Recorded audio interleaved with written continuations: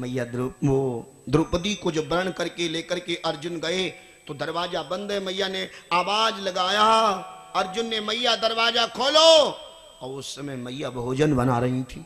बहनों, भोजन भोजन पर एक विशेष बात सुन लो बिटिया लोगों, जिनके घर में रिद्धि सिद्धि हाथों में नहीं है, एक बात सीख लो बिटिया लोगों, सबसे पहले अगर अपने परिवार में रिद्धि सिद्धि लाना चाहती हो ना, अपने परिवार में तो आपके घर में बरकत होता रहेगा बिटिया लोगों। अगर दरवाजे पर कोई मांगने वाला आ जाए, कोई मांगने वाला उसको कभी खाली हाथ मत जाने देना। इतनी याद करना। और रिद्धि सिद्धि, जिस बिटिया बहन के हाथ में रिद्धि सिद्धि है, अगर भोजन परिवार भर वाले लोगों के लिए बना है, अगर दुई मेहमान उतर जाएँ तो उसे बनाना नहीं पड़ेगा, उसी में सब पूर्ण हो जाएगा।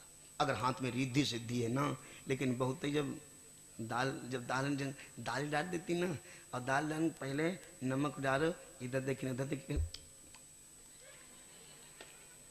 हाँ बात तो सही है। ठीक मामला वो पहले है चखी जाती हैं हाँ पहले चखी लेते हैं। इसमें दलित आता हमने देखा है, पहले ठीक तो है। सब्ज़ी, थोड़ा सब्ज़ी का पानी निकाल दो? हाँ हाँ ठीक था ठीक। बढ़िया बढ़िया, पता लो, अगर कोई छोटो बच्चों को पता ही हो नहीं पता ठीक है, ठीक, बढ़िया, ठीक है, ठीक ठीक है, बढ़िया। गलत बात बहनों, इसे रिद्धि सिद्धि चली जाती है। रिद्धि सिद्धि चली जाती है बहनों। एक बात और बता दें इतना बड़ा कार्यक्रम जो हो हो गया है, ये तो अलग बात है। लेकिन सात पाँच की लाठी अकेले का? बोलो! अगर ये एक साल के बाद कार्यक्रम हो तो कैसे हो? हम विद्या बताएँ आपको। बताएँ।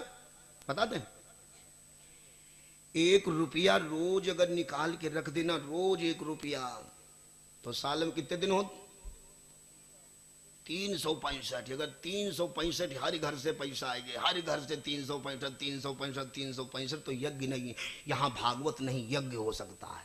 इसमें कुछ पैसा लगा?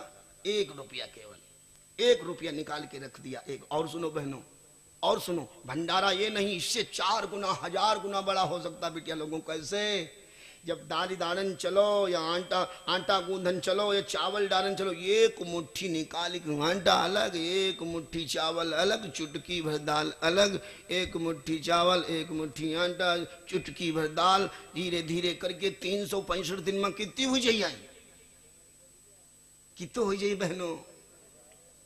कितना हो जाएगा बिटिया लोगों, सोचो?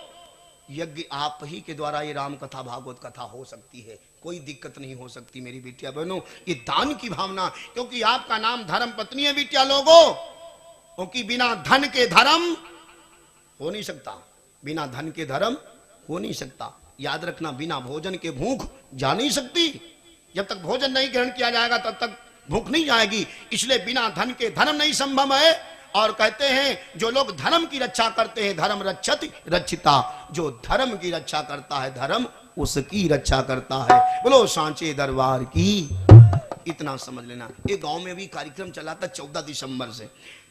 तो वहाँ कार्यक्रम चल रहा था तो वहाँ का मामला बड़ा गड़बड़ गड़बड़ देखो। और कुछ लोग कहा पंडित लालची हो तो लालची नहीं हो तो लंबी पूछ बद लालची हो लंबी पूछ जानत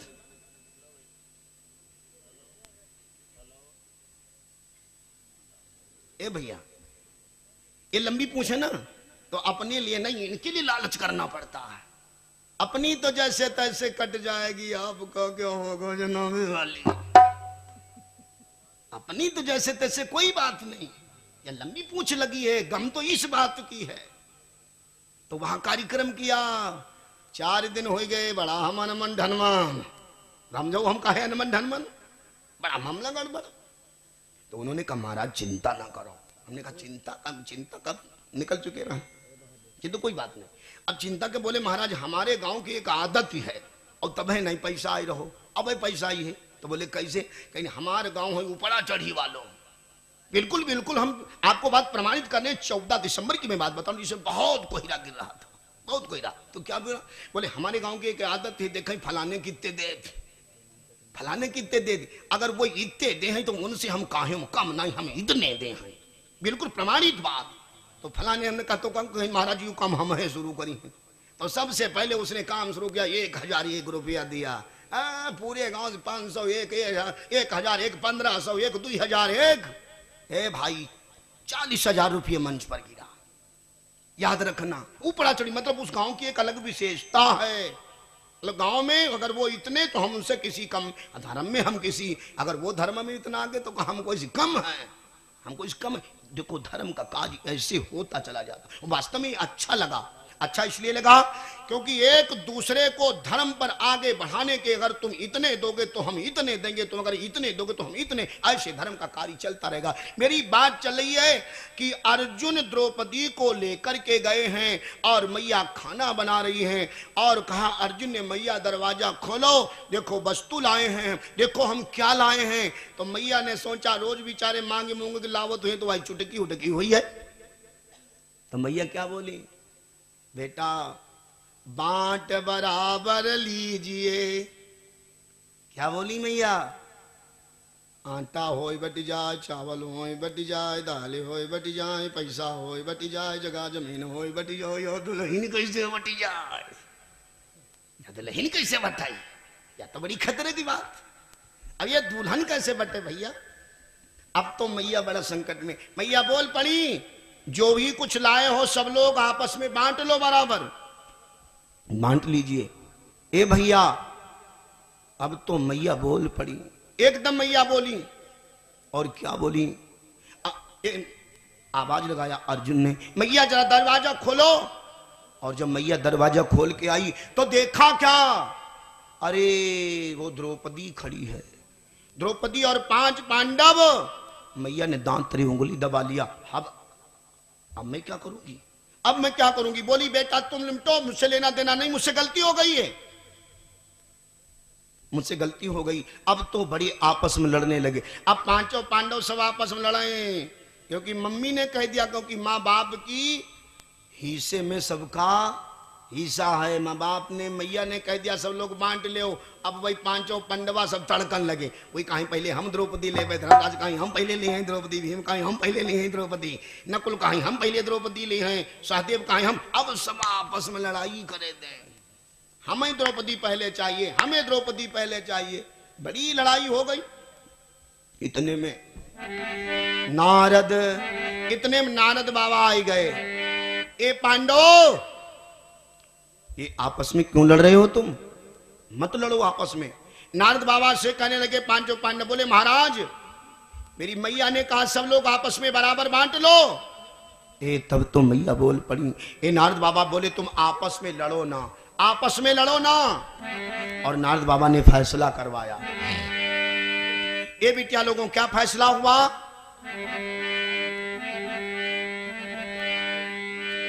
कि सबका समय नाथ बाबा ने बांट दिया। और सबका समय बांटा कि ये द्रौपदी सबके पास पाँच पाँच वर्ष तक रहेगी। कितनी देर रहेगी भैया? सबके पास पाँच पाँच वर्ष तक रहेगी और इसमें जौन सबसे बड़ा हो, वो हाथ उठावा धर्मराज बोले, यस, सर। धर्मराज बोले, यस, सर। मतलब पहले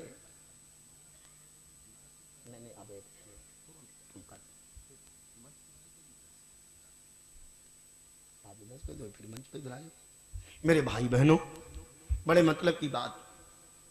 मेरे धर्मराज कुनो, मेरे नाथ बाबा ने फैसला करा दिया कि ये सबके पास द्रौपदी पाँच पाँच वर्षों तक रहेगी।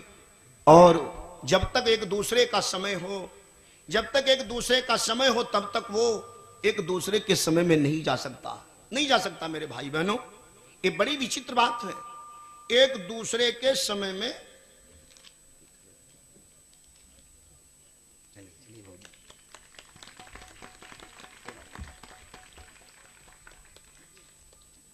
ये वस्त्र और माल्यार्पण हमारे आदरणीय ओम प्रकाश दादाजी की तरफ़ से और सभी को ये माल्या अर्पण और ये वस्त्र दान बहुत बहुत साधुवाद वंदन व अभिनंदन भगवान आपके जीवन को मंगल में करे और परमात्मा सदा सुखी रखे। बोलो सचिदानंद भगवान की जय। रुद्र भगवान की जय। मैया द्रौपदी ने मेरी मैया द्रौपदी को सबसे पहले धर्मराज ने पाया, भैया, एक दिन की बात तो है। धीरे धीरे समय बीतता गया। समय बीत रहा है और एक दिन भीम के मन में विचारा, एक दिन भीम विचार लगावा।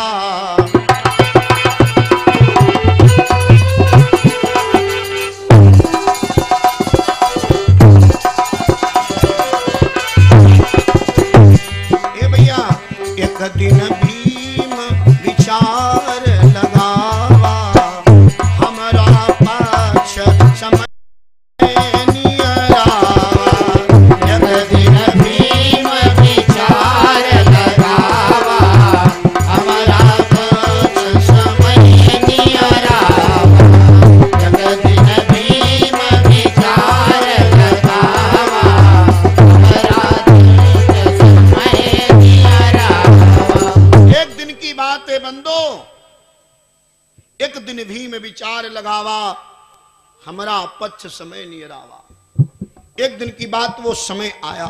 समय क्या आया भैया? अर्जुन ने विचार किया, ये बिटिया बहनों, माताओं, ध्यान से सुनना माताओं। मेरी बात को जो हो रहा वो होने दीजिए, लेकिन कथा पर आप ध्यान दीजिएगा। ए बिटिया बहनों धीरे धीरे पाँच वर्ष बीत रहे हैं। धीरे धीरे पाँच वर्ष बीत रहे हैं। भीम ने विचार किया अब नंबर हमारा अमन वालो। भीम ने क्या सोचा भैया? भीम ने विचार किया अब नंबर हमारा अमन वालो। क्या नंबर आने वाला? है नंबर मेरा आने वाला। तो एक दिन भीम विचार लगावा। अच्छा मालिया अर्पण हो जाए फिर फिर उसको- जी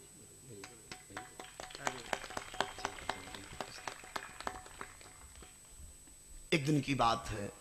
एक दिन भीम विचार लगावा। हमारा पक्ष समय नियर आवा मेरा समय आ चुका है। तो अब हम देख लें कि मेरे दादा कैसे रह रहे हैं। ये विचार लगाया भीम ने, क्योंकि अब ये नंबर हमारा है।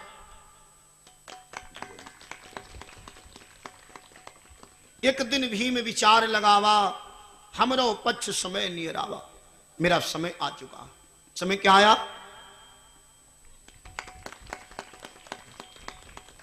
मेरे भाई बहनों ये मालिया अर्पण डॉक्टर साहब जी की तरफ़ से। बहुत बहुत साधुवाद, वंदन, अभिनंदन। भगवान आपके जीवन को मंगल में करे, परमात्मा सदा सुखी रखे।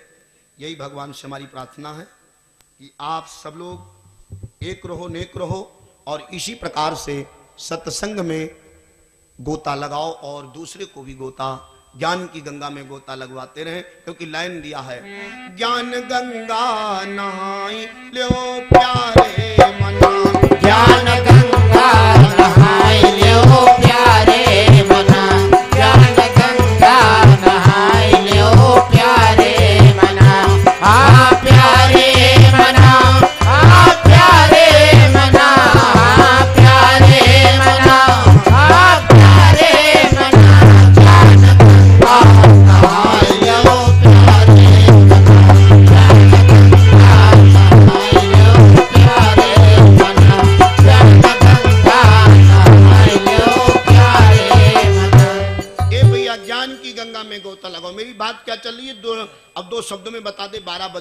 कथा बड़ी लंबी है। बात क्या चल रही है? कि सबसे पहले द्रौपदी मिली है धर्मराज को। कितने दिन के लिए? ए भैया, ये पाँच वर्ष के लिए। तो अब धर्म, अब भीम अपन तैयारी बनावन लगे। भीम ने सोचा, अब हमारा नंबर वावन वालो। अब हम हूँ तो देखें भैया। लेकिन एक दिन की बात, एक दिन भीम विचार लगावा, हमारा पक्ष समय आवा रात की बारह बजे धर्मराज के जहाँ धर्मराज कमरा में सोवत थे, धर्मराज गए, वो वो भीम गए, और दरवाजे की खिड़कियों, दीवार की खिड़कियों से भीम झांकने लगे। देखे दादा कैसे रहा थे। ए भैया, इनके मन में क्या भाव है देखिए दादा कैसे रहा थे ए भैया तो क्या किया? एक दिन भीम विचार लगावा हमारा पक्ष समय नहीं रावा तो क्या किया भीम ने? भीम गए।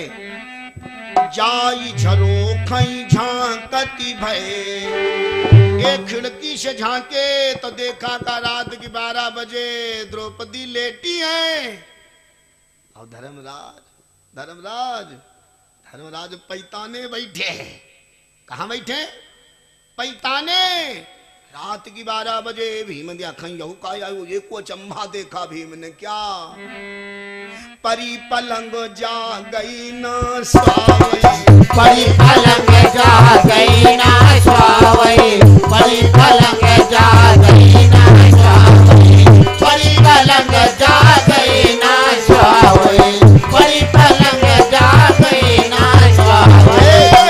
धर्मराज। धर्मराज यही पाँव दबा धर्मराज तहि भाव दबावै। धर्मराज तहि भाव दबावै। बड़ी विचित्र बात परी पलंग जा गई ना स्वावई धर्मराज तेई पाँव दबा वही दादा भीम मरी गए। हाँ। यौ दादा का करती हैं। दादा तो पाई दबाए रहे हो हमरो नंबर आवई आलो, हम छत्री। मोछ याद थी भीम की, दस हज़ार हाथियों की ताकत, तब भीम सोच रहे हैं, अगर जब दादा पाँव दबाए रहे हैं, दादा करई चरण से उठाए। दाता करई चरण शिवकाई दाता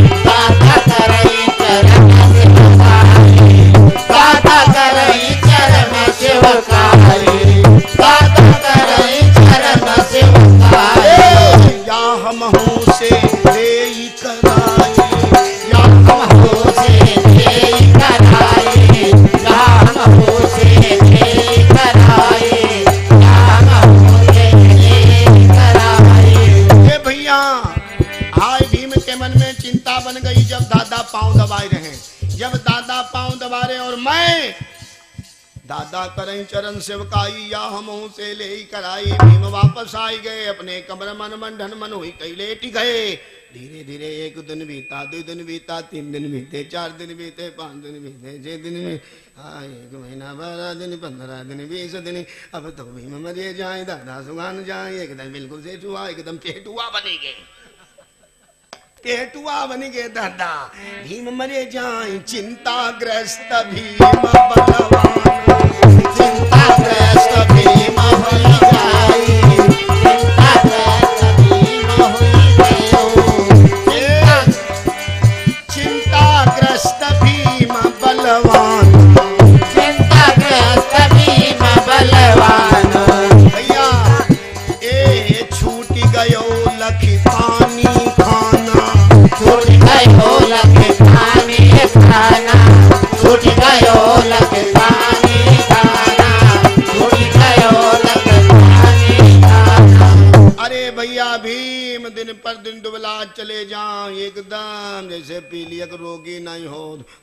मार दो फुरुस उड़ जान। कोई चिंता नहीं। मैया कुंती देखिन भैया, हमारे बड़ा तगड़ा, तंदुरुस्त रहा है। अच्छा महतारी के नज़र लल्ला पर बहुत लगती रात कि हम तो दही पियावा तो रोटी दे, खाना, मार भैया का, मार भैया का, मार भैया का। नहीं नहीं, दी। मैया का प्यार अलग है। मैया का प्यार अलग है। मैया के हाथों का भोजन अलग ही है। पत्नी पत्नी है पत्नी है पत्नी है, माँ है, माँ माँ है। मैया ने देखा, भैया भैया हमारा तो बहुत मामला गड़बड़, पतंग हुई गए। कहा बात? भैया का मामला बड़ा गड़बड़। एक दिन बुलाए, एक कुंती ने पूछा, भैया, ये तुम्हारा शरीर दुबला पतला काहे हुईगा भीम का लग ये मत पूछो हमसे, लेकिन उनके तो चिंता बनी पाँव वही की। उनका गम बैठे पाँव दबाने वाली। मातारी पूछ रही, भैया, बताओ ना। लेकिन कोई भीम नहीं बोल रहे हैं। कुछ बोलता ही ना, लो भैया, दही पी लो नहीं दही नहीं पी दही कैसे पी दादा? दही कैसे का सेहत में आ? अरे, कम से कम जब अब ऐसे खाना छोड़ दिया, अब तो मौके पर लई, मौके पर लई, आए कहीं है कि तुम्हारी ताकत नहीं है, तुम जाओ। तुम नहीं पानी दबा सको तो पीछे हटो। तो अब ऐसे भीम अपन प्लान बनाए रहे कि कम से जब खाना पानी छोड़ दी है तो शक्ति नहीं हुई है तो कहीं तुम्हें हाथ पाँव दबाने ज्ञान नहीं। पीछे हटो, भीम अपने प्लान बने। अब चिंता पाँव दबाने की है तब तक तब तक आए कृष्ण जी। आए गए कृष्ण भगवान, एक दिन की बात है। कि कुंती कहा सुनाए? भीम मेरा रोगी हुआ दिन पर दिन दुबला। एक दिन कन्हैया जी आए गए। जब कन्हैया आए गए, कुंती मैया बैठ गई, बोली, भैया कन्हैया, भगवान बोले, बुआ बताओ क्या बात, बुआ बुआ कहा भगवान ये दो बहनें थी, देखो कुंती एक कुंती दो बहनें थी, एक का नाम था श्रुत शिवा और श्रुत शिवा का बेटा शिशुपाल था, याद रखना, ये बुआ का बेटा था, ये बुआ का बेटा, ये दो बहनें थी, कुंती और श्रुत शिवा। बुआ आखिर बात क्या? है कुंती मैया की आँखों में आँसू आ गए। बोली, बेटा, मेरा भीम रोगी होता जा रहा है, मेरा भीम रोगी भीम है। कोई उपाय बताओ? तो भगवान बोले, मैया, अब हमारे पास हम सब आला बाला घर हम धरी आए हैं। और अगर आला बाला लेकर आए होते तो अब है, कोई इंजेक्शन ठुसते, बस तीन खुराक दवा देते सुबह दोपहर शाम। मामला सब ठीक था। मामला सब ठीक था लेकिन अब आला बाला घर रखे आए हैं। इतना करना अब हम जा रहे हो भीम का हमारे वहाँ भेज देना। हम उनकी इलाज कर देंगे। और भगवान जान गए। भगवान कहें भीम कहीं बुलाएँ कहीं इधर आओ भीम। ये भैया भगवान ने भीम को बुलाया। भीम को पकड़ो ऐसे आँखें देख। कहीं इधर पलटाओ उधर के पलटाओ उधर हाँ, कहीं दिक्कत तो दिक्कत तो बन गई है बहुत विकट। दिक्कत बनी। ठीक है। ठीक है मैया, मैं जा रहा हूँ। भीम, अगर समय मिले तो भेज देना मेरे पास में। आए भीम। और कुंती कहने लगी, ए भीम, सुनो कि तात जाओ द्वारिका सिधारे। तात जाओ द्वारिका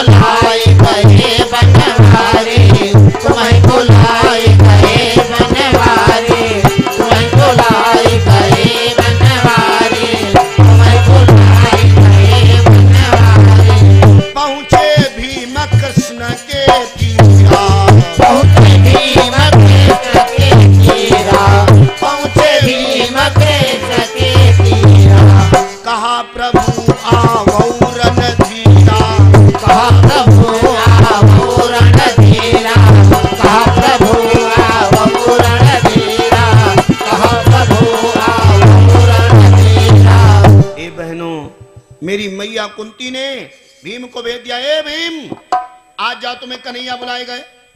जाओ कन्हैया बुलाए गए? तो महतारी की बात नहीं भीम काट सके और द्वारिकापुरी पहुँचे। ए भैया, और जो द्वारिकापुरी पहुँचे ये पहुँचे भीम कृष्ण के तीरा। कहा, प्रभु, आवो रन आओ आओ भीम, आओ बैठो। भीम जाकर बैठ गए। बहुत दुबले पतले भीम है। भगवान बोले, बहुत तुम्हारी तबीयत खराब है। क्यों? तुम्हारी हालत बड़ी गंभीर है। अल्ट्रासाउंड कर दिया जाए इनका। बहुत बीमारी लंबी निकली है तुम्हारे एक समस्या है तुम्हारे, क्या करना पड़े? सुनो भीम, ये तुम्हारा रोग मिट जाएगा। एक नुकसा है। क्या है? एक नुकसा आपको करना पड़ेगा थोड़ा सा बस आपको चुटके में आपको ठीक हो जाएँगे। आप क्या करना होगा?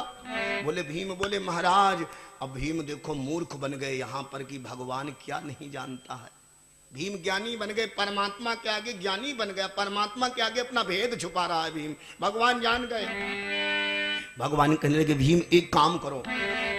एक काम तुम ये करो, जो तुम्हारे करने योग्य, जो करियई हो प्रेम से तो मिट जई है रोग। अगर मैं जो बताऊँ, अगर वो तुम कर दो, तुम्हारा रोग ठीक हो जाएगा। भीम बोले, महाराज, जल्दी बताओ, देर ना करो। जल्दी बताओ। तो भगवान बोले, सुनो, कि पूरी हस्तिना उत्तर वोरा, और पीपल ए भीम, आपके हस्तिनापुर के उत्तर साइड में एक पीपल का पेड़ लगा है, बहुत बड़ा। भीम ने कहा हाँ महाराज तब भगवान बोले, कहीं पर रात बीता वहु जाए, कहीं पर रात बिताओ जाई कहीं पर रात बिताओ जाए, कहीं पर रात बिताओ जाई कहीं पर रात बिताओ जाई भोरई जई हई रोग नशाई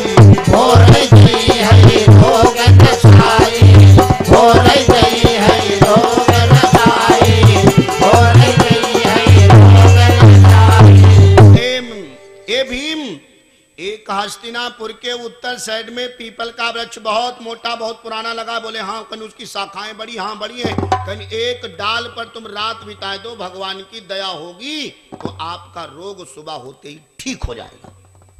बोले महाराज पक्का? भगवान ने कहा "हाँ, जाओ जाओ अब रोग मिटाने आए। आए गए भीम आ गए और पेड़ पर चढ़ के बैठ गए पीपल के। पीपल पर बैठे भीम पीपल पर बैठे हैं। आए बैठे पेड़।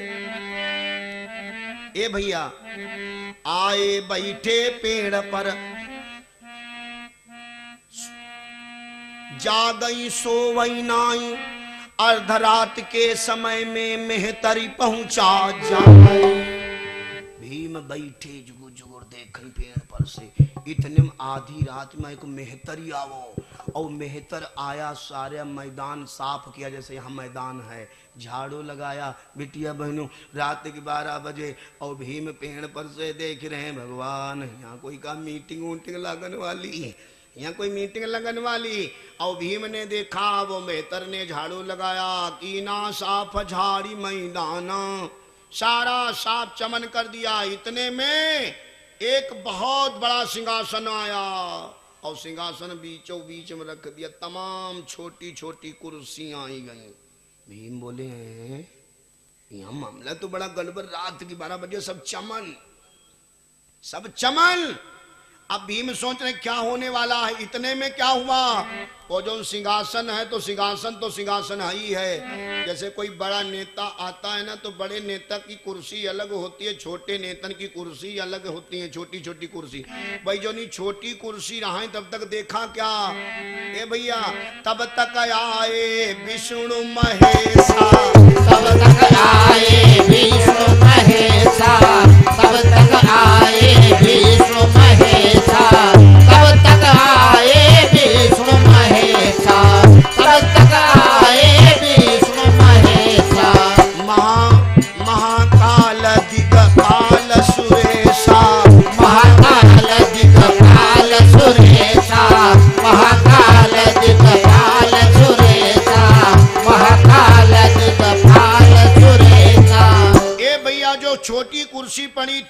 थी वही कुर्सी पर आक ब्रह्मा जी बैठ गए। शंकर जी, विष्णु जी, दिनेश, सुरेश, महेश यक्ष किन्नर गंधर्व, कालू, महाकालू, इंद्र सब बैठ गए। और भीम देख रहे। रात की बारह बजे, कितने बजे? बारह बजे। रात की बारह बजे। और भीम देख रहे हैं। लेकिन वो जो ऊँचा सिंहासन था, जो बड़ी कुर्सी थी, वहीं पर कोई न बैठा। ना सब अपनी अपनी फ़ाइल ले बैठे हैं। सब अपनी अपनी फ़ाइल लिए बैठे हैं। इंतज़ार है सब चौकन्ना, है सब चौकन्ना। कौन किधर से आ रहा, कौन किधर से आ रहा? सब चौकन्ना बैठे। इतने में क्या हुआ? दिव्य सिंहासन जो था खाली। दिव्य सिंहासन जो था खाली। दिव्य सिंहासन जो था खाली। दिव्य सिंहासन जो था खाली। दिव्य सिंहासन जो था खाली। यही पर आई बैठी पंचाली। कहीं पर आई बैठी पंचाली। कहीं पर आई बैठी पंचाली। कहीं पर आई बैठी पंचाली। ए भैया, जो दिव्य सिंहासन खाली था ना, दिव्य सिंहासन जो था खाली और यही पर आई बैठी पंचाली ये पंचाली कौन है भैया द्रौपदी और जब द्रौपदी आके बैठी भैया आहा और जैसे द्रौपदी आई सब ब्रह्मा विष्णु महेश सुरेश मैया प्रणाम मैया प्रणाम मैया प्रणाम मैया प्रणाम बैठो बैठो बैठो बैठो बैठो बैठो बैठो बैठो बैठो बैठो बस नेता बस हाथ हिला दे बस मतलब ही ले जाते न पोसा ले से तुम्हें यहाँ डंडा खाए जात बवाल बनाओ ऐसे कर बैठो बैठो बैठ। यही हाथ हिलाया बैठ जाओ बैठ। और जो ने नेता के इशारे से ने ऐसे हाथ हिला दे बैठ जाओ। तो अगर घर का इशारा माने लगो तो जीवन बदल जाए। बोलो सचिदानंद भगवान की समझी बात है? अगर इतने इशारा घर का मान लो अपने बड़े बुज़ुर्गों का तो जीवन बदल जाएगा। जीवन बदल जाएगा। ए भाई बहनों, जीवन बदलेगा। आज मैया द्रौपदी ने सब लोग बैठो बैठो बैठो, बैठ गए। हाँ। पूछा सबसे निज निज धर्मा। और कहा सबन ने आपन कर्म। ए ए ब्रह्मा जी, हमने जो तुमको काम दिया था वो फ़ाइल पूरी हो गई। हाँ माता जी, ले अच्छा अच्छा अच्छा अच्छा ये बात है। ले माता जी ठीक ठीक ठीक ठीक। हाँ, हाँ, बैठो चलो चलो तुम बैठो तुम बैठो। विष्णु जी हाँ मैया अच्छा अच्छा तुम्हारा काम? तुम्हारी फ़ाइल बड़ी लंबी है। ठीक ठीक ठीक चल फट फट चलो तुम बैठो। तुम भी बैठो लेनो ए महाकाल हाँ मैया और भीम देख रहे जैसे को मैया तो भीम तड़बड़ाई गई। भीम मानी तड़बड़ाई गए ए महाकाल हाँ मैया मैंने जो तुमसे कहा था वो काम हो गया। मैंने जो तुमसे कहा था, वो काम हो गया। मैंने तुमसे कहा था, सात घड़ा खून से भर कर देना। सात घड़ा, तब तो महाकाल खड़ा हो गया, काँप रहा, बोला, मैया, सुन ले हमारी बात। हम छह घड़ा भरी डाले हैं खून से। कहते घड़ा भैया? छह घड़ा भरी गए हैं तो द्रौपदी ने कहा, फिर सातवां घड़ा सातवां घड़ा क्यों नहीं भरा तब बोला, मैया तुमको बोला मौका दे थर थर थर काम पाई महाकाल। बोला, मैया तुमको मौका दे तब महाकाल बोला। घड़ा भरे हैं छह अभी। की घड़ा भरे हैं छे अभी? और माँ तू दया कई देऊ और मिलई अगर जो भी न कहूँ तो सतमा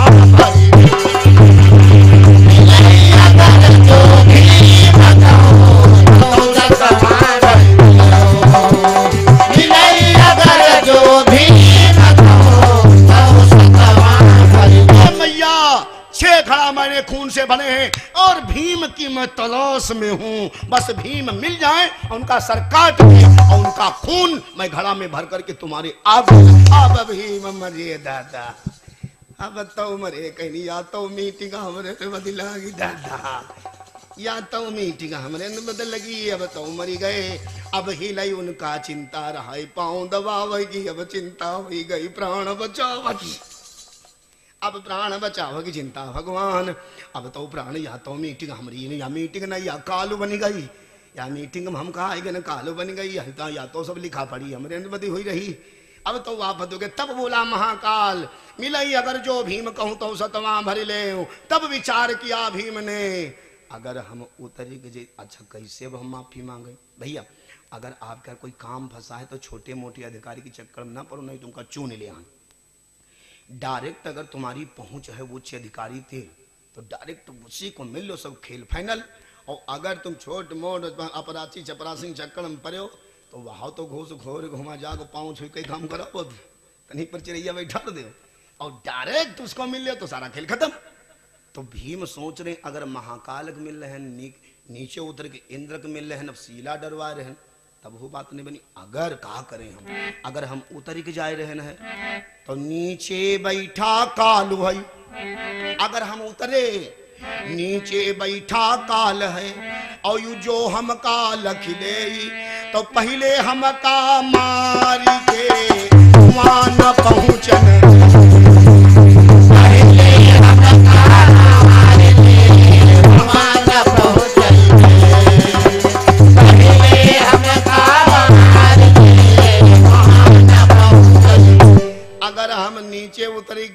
अगर हम नीचे उतर गए तो पहले है फरसा मारी बच्छन मनु